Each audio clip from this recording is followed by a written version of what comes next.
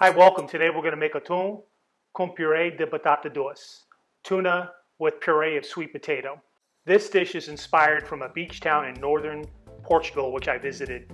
Just a gorgeous town, Costa Nova. Costa Nova, over the last hundred years, has turned from more of a fishing village to a tourist destination. The thing that's so prominent in the town is that years ago, the fishermen built like little huts to store their equipment and to live closer by the water when they took out their boats earlier in the, in the, morning. But over the years, these storage houses have been converted to great family vacation homes. And now the streets are lined with these just gorgeous houses that are painted in vertical stripes, different colors. When I was there, I had a chance to have lunch at a beach restaurant called Braun Seafood Lounge and Bar. It's right on the beach, and you can see this seared tuna. This is what I'm going to try to duplicate today was fabulous. I mean, just everything about it. The tuna was great, the sweet potatoes, the presentation. So today I'm gonna to try to replicate that dish so you can make it at home also.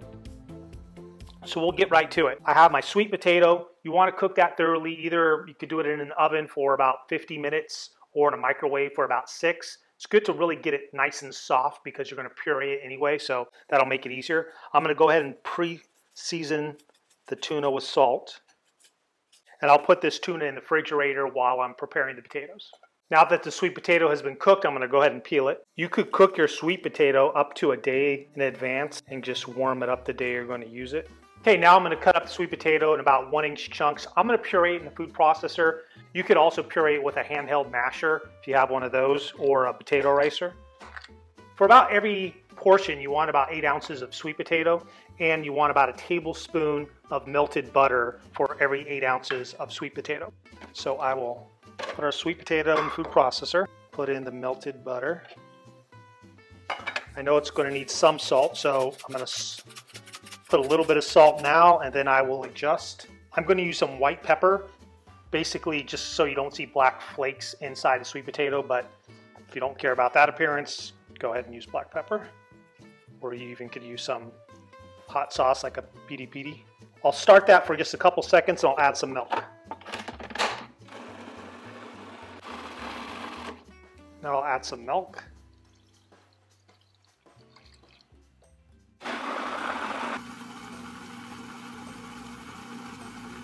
And now is where the art of cooking comes in because depending on how smooth you want your mashed potatoes, you want to begin tasting it and seeing the consistency. So that already looks pretty good there. I'm gonna taste it for flavor.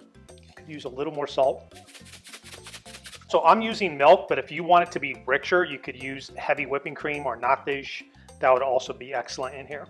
Now I'm gonna add a little bit of turmeric for extra color. This is optional.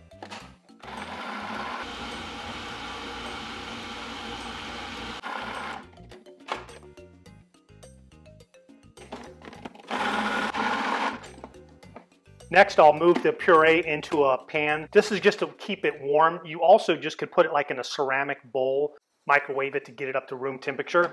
The color looks beautiful. I think I got really close to the way they have it at the restaurant.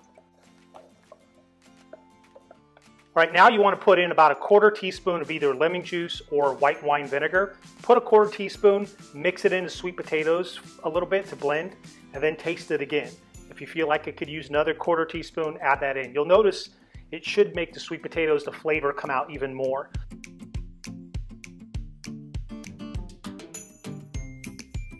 Okay, our sweet potatoes are done.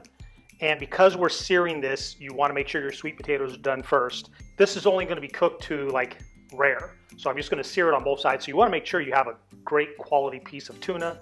You also want to make sure that I bought this today. You want to make sure you use it the same day the, the freshness of the tuna is the star of this dish. So make sure you get a great piece and that it's used right away. The salt's on there. I'm going to put a little bit of olive oil. The olive oil mainly I put on, it helps the sesame seeds stick to it. I already have my pan heating up. So then I'll just sprinkle some sesame seeds all over. Try to get it to the edges. I don't think this is quite traditional Portuguese, but hey, it was served at a restaurant in Portugal, so I think that counts. Put a little bit on top. So you really want to make sure everything's ready to go at this point because you want to sear and serve right away. If I was doing this for a large party, you could sear really quick, like 20 seconds on each side.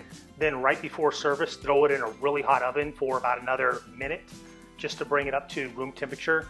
Put the sweet potatoes like on the bottom of the casserole dish with the pieces of tuna sliced on top.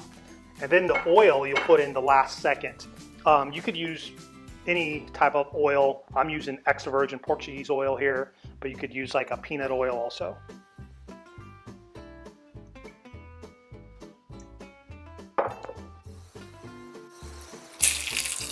And now I would say the most you want to do about a minute on each side. That's my preference. If you really wanted to cook it more to medium rare, maybe two minutes at the most on each side.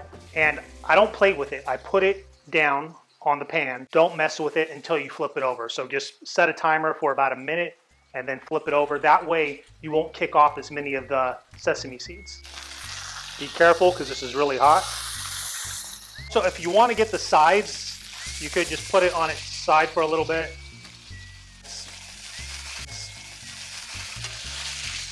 And that is it, we're done. Put it on our cutting board. And now you want to get one of your sharpest knives and just cut it in little thin pieces, maybe like a quarter inch thick.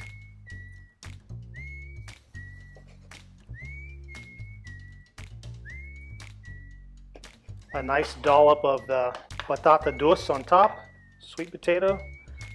Usually it looks like the way they did this is a nice dollop right on the top. And now with your spoon, just punch down and bring it forward. Now optional, you could put a few chives on top. Sprinkle those on the tuna and on the sweet potato, really brings out the color. And here you have it, atum con puree de batata doce. Just the color of the mashed potato is fabulous. Hope you get a chance to make this. Now go cook for someone you love.